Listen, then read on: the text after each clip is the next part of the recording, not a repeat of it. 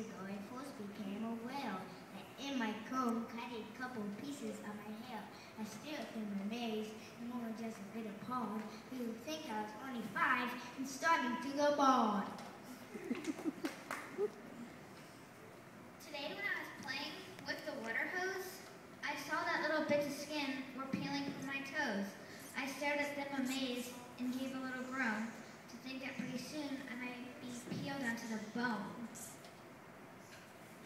And yesterday before my bath, as I took off my clothes, a chunk of something gray and wet fell right out of my nose. I looked at it amazed and thought I should be feeling pain.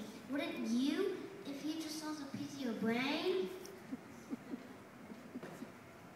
Now I'm thinking to myself, what's next in line to go? It might be my ears or my eyeballs.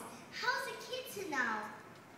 So now today I'm sitting here enjoying And suddenly I realize a tooth is coming loose. I it, amazed, dismayed, too horrified to speak. Without my tooth, how can I eat? Already I feel weak. And now I'm worried. I'm as scared as I can be. Because finally what's happening is very clear to see. The glue that holds our parts together isn't holding me. What? One day I might be playing ball and have my arm fall off. Or maybe I could lose my head suddenly I cough. What? You forgot to tell me teeth fall out, and when they do, new ones will begin to sprout.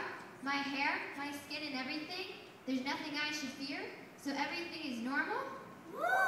That's good to hear. Then tell me, what's this yellow stuff I got on my ear?